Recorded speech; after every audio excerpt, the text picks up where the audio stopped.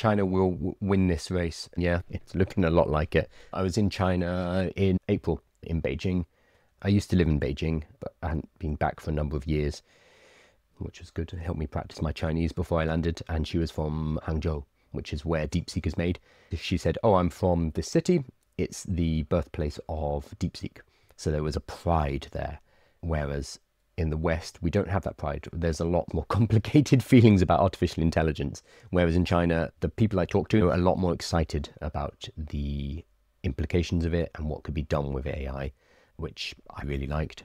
And then I kept bumping into AI in daily life. Once I was in some alleyways looking for a noodle bar, couldn't find it. I talked to a grandma and that's like, a, can you help me find this noodle bar?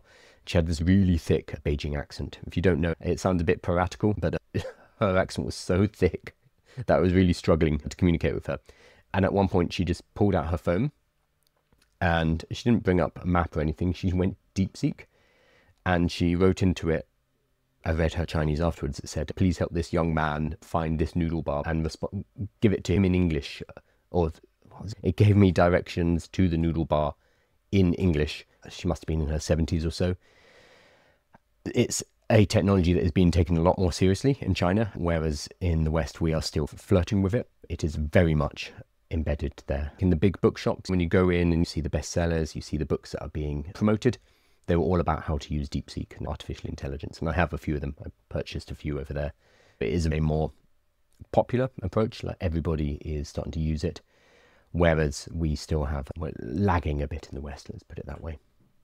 So, yeah, they're doing very well extremely well. I think when we get to robotics as well, that's going to be the ball game because China has the manufacturing capability to produce robotics at a cost which allows them to become widely adopted. One of the main problems in robotics is we can build really impressive things, but if it costs the same as a family car, that doesn't make it practical to use on a day to day basis.